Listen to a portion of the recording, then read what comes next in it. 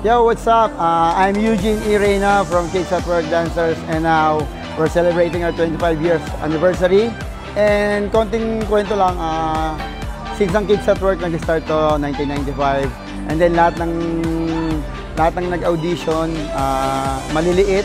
That's why napinangalanan ng manager namin ng na Kids at Work.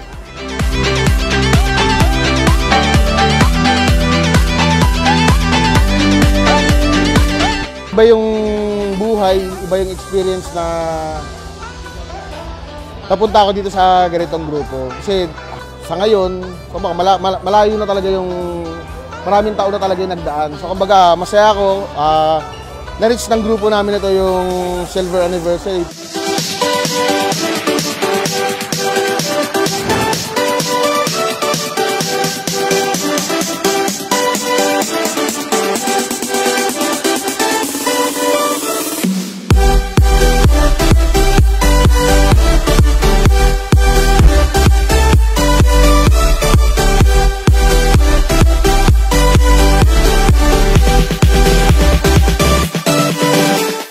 Kami nag-give up sa kahit anong hirap ng pinagdaanan namin.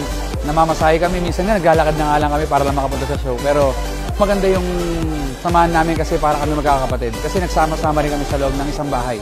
Ah, papasalamat din kami sa unang manager namin na si Tito Herman.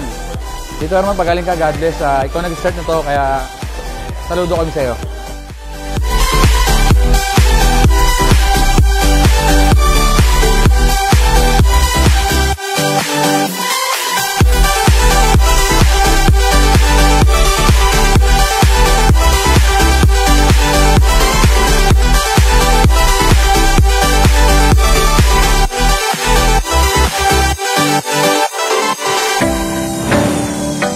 Marami kami struggles nung nagsisimula pa lang kasi syempre nagagamayan pa kami, nakikilalanlan.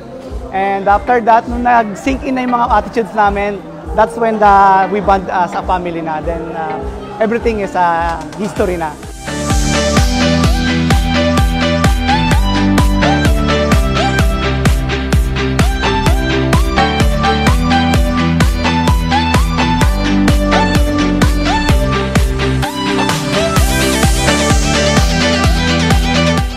Happy anniversary sa atin, Kids at Work. Alam niyo po, nagsimula ako sa Kids at Work. Dito yung, ah, dito yung sobrang pagod, sumusuka ako sobrang hirap ng mga trainings.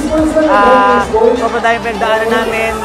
Siyempre, nandiyan sila Tita Seni, si Tita Mel. Pero ito na kami ngayon, 25 years na, kaya nakakatuwa. May kanya-kanya man landas, pero lahat kami naging successful sa buhay. Kaya para sa atin, Kids at Work! Sa 4 years to come, mahal ko kayo, kayo John, ah, JJ, Tita Seni, kung nasaan ka man, mahal ka namin. Sa'yo kami lahat nagsimula, Tita Mel, we love you. Happy anniversary, Kids Work!